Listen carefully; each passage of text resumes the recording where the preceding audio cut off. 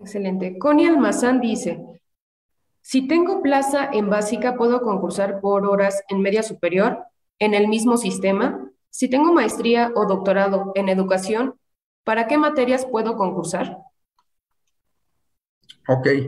Eh, sí puede participar, ya lo habíamos comentado, de educación básica a educación media superior, siempre y cuando se cumplan con los requisitos establecidos en caso, eh, en cada una de las convocatorias y en caso de alguna asignación de plazas, eh, ver el tema de compatibilidad con, las plazas de telesecundaria ahí que, comenta que, tiene. el grado académico para participar es el nivel de licenciatura.